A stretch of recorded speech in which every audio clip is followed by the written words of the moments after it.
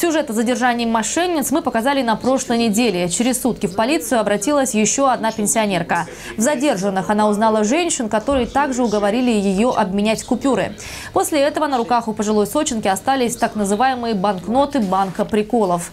Немедленно сообщить в полицию пострадавшую уговорил младший брат. Судить надо таких людей.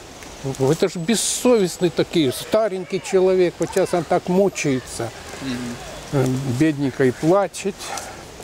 Возбуждено уголовное дело. Полиция напоминает, если вы не вызывали соцработника или врача, а он настойчиво пытается попасть к вам в дом, скорее всего, в дверь стучатся мошенники. Чаще всего мошенники представляются работниками социальной сферы, медицины, вводят э, чаще всего пенсионеров, пожилых людей в заблуждение, предлагают обменять деньги, либо э, предлагают какие-то несуществующие услуги. Поэтому, если кто-то пострадал от действий указанных лиц, мы просим незамедлительно сообщить в полицию по телефону tournons-nous le doigt.